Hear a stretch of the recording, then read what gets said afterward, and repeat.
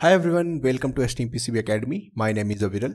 In today's video, we are going to talk about what are modes in a coupled transmission line, some application of modes, and waveform patterns of differential and common signals.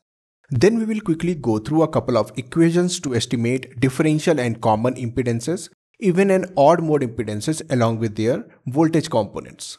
So let's get started.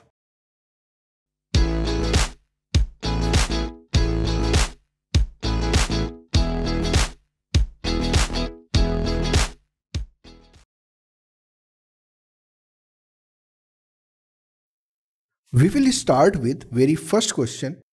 What are modes in coupled signals? To understand it better, we'll see three cases of differential pairs where we will change input of coupled line and try to understand the effect on signal received.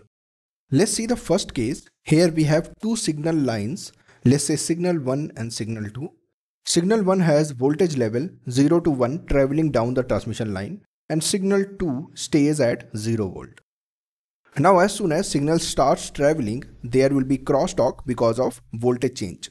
And due to that, we'll see this type of response at T1 time. At T2 time, it will be more steep and we'll see more voltage transfer between signals.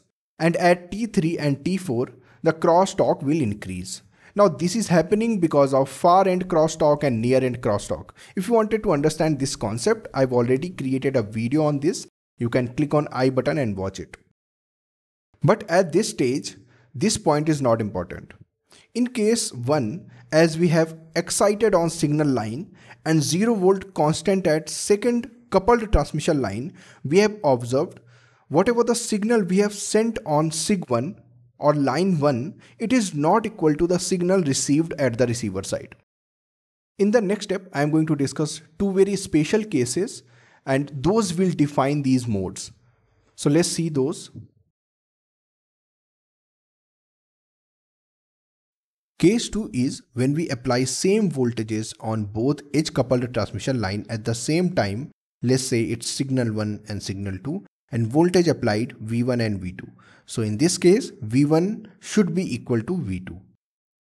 Since signal are traveling together, so there will be no change in voltages or current with respect to each other. If we'll probe at the both input and at the receiver side, we'll observe after t time delay, receiver's voltage should be equal to V1 and V2. This is a special case. We'll talk about it more later in this video. Let's move to another case. Now let's talk about another case where we are sending 0 volt to 1 volt on first line and 0 volt to minus 1 volt on second line. And the condition is same, line 1 and line 2 are edge coupled. So as signal propagate down the transmission line, both signals will generate noise on each other but opposite in polarity. So you can say the resultant noise at the receiver side will be negligible and the voltage pattern will be undistorted. So now what will be net voltage we'll see at the other side of coupled transmission line.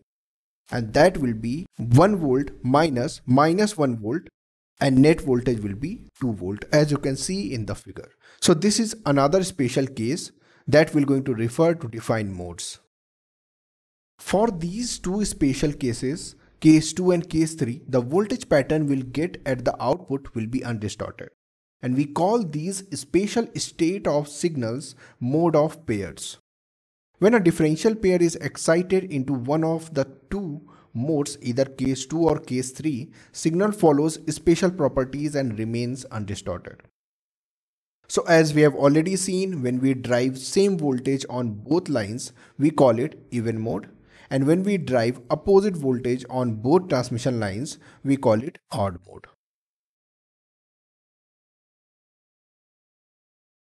As we have already discussed, odd and even mode are special case which propagate signals undistorted on the line. For example, as we have seen in case of differential signal and impedance tutorial, impedance a signal sees depends on coupling of adjacent trace and voltage pattern on the other line as well. Now using odd and even mode terminologies, we can refer to these impedances. For example, we can refer a impedance of one line as odd mode impedance if signal follows odd mode states.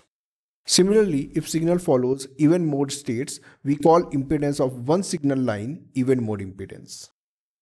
Now things will become more complicated when the geometry of edge coupled transmission lines are not identical. So that will be an advanced case. We'll talk about it in later videos. Now in the next step, I'm going to talk about how to estimate even and odd mode impedances.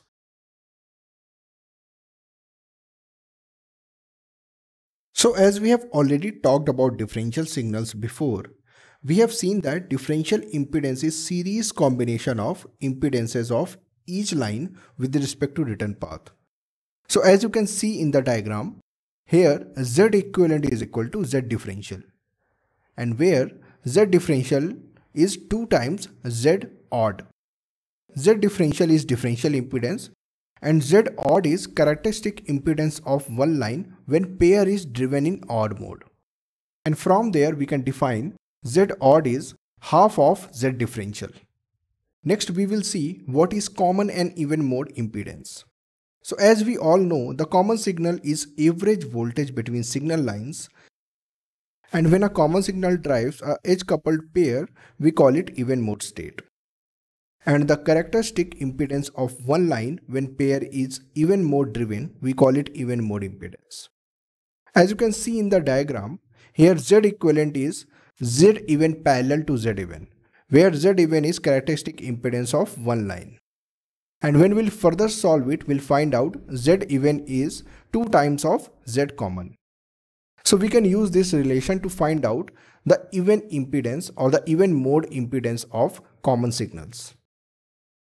Now let's take a quick example. If we have 250 ohm edge coupled transmission line, in first case, if they are driven by even states, then Z even will be 50 ohm and Z common will be 25 ohm. But if they are driven by odd states, then Z odd will be 50 ohm and Z differential will be 100 ohm. Alright, so it is that easy to find out even and odd mode impedances.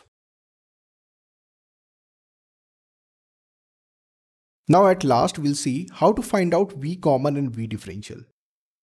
So V common is average of voltages on each coupled transmission line and V differential is the differential of voltages. So let's say we have a coupled transmission line which has V1 and V2 voltages on each line. Then V common will be 1 by 2 summation of V1 and V2 and V differential is V1 minus V2. So that's it for this video. I hope you got the concept of even and odd modes. See you in the next video.